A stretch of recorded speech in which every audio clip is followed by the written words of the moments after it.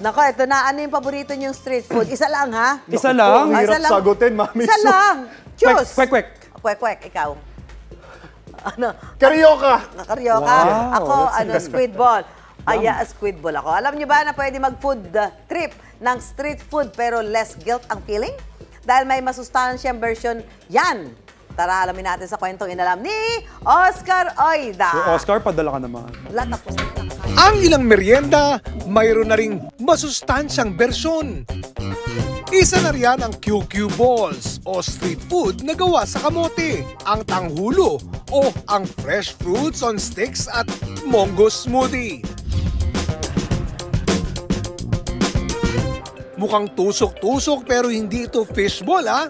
Yan ang QQ Balls o sweet potato balls ni Rogea. Inspired po siya sa Taiwan night markets. Ang sarap kasi ng sweet potato balls and marami naman tayong kamote dito sa Pilipinas and why not na magbenta kami. Maganda siyang isali sa mga typical na street food dito sa Pilipinas kasi mas healthy siya compared sa iba kasi parang nasanay tayo sa mga kamote na laging nilalagyan ng asukal.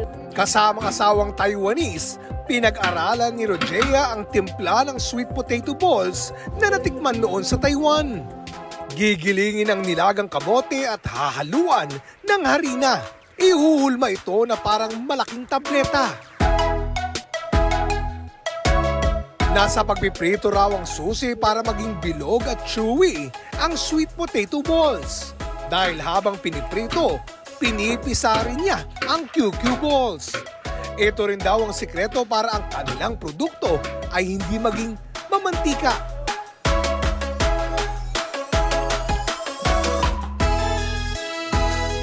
Isang tanghulo o fresh fruits on sticks sa pambato rin ni Rogea. Thrill po siya ng strawberry na dinip po sa sugar. Sugar-coated fruit po siya.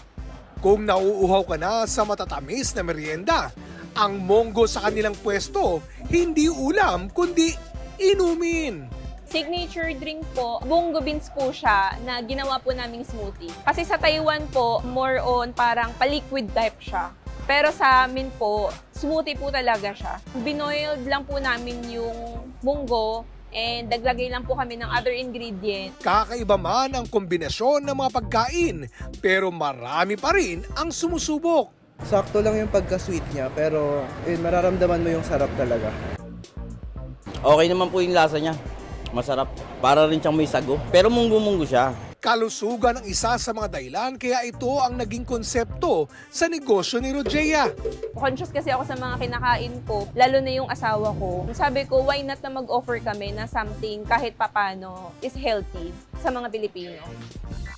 Dapat alam mo na masustansya ang kamote at munggo ayon kay Jake Brando, isang nutritionist dietitian.